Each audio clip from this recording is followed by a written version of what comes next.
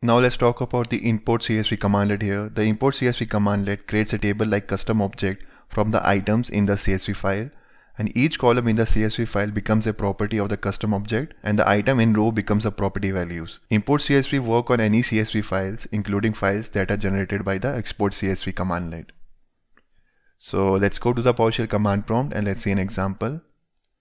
And if you want to see the parameters of import CSV commandlet then we can take help of get help commandlet. So mention get help and write import CSV. Hit enter.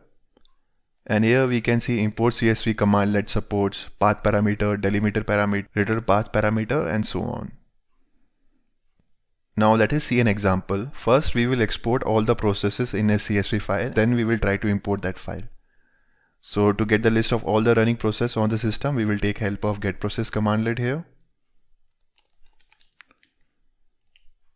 And let's export everything to a CSV file. And for that we will take help of export CSV commandlet here.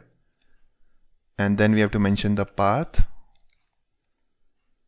And let's give a file name. And let's say import file dot csv and we don't want that type information header. And to remove that write no type no type information parameter here and hit enter. So the file has been created on the desktop. We can verify. If you come here and here we can see import file.csv. Open this. And it has the list of all the running process on the system. Now let's try to import this file. And to do that, we will take help of import CSV commandlet here. So write import CSV.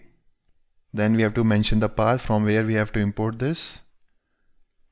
And let's say import file dot csv. Hit enter. And here we can see we have successfully imported the file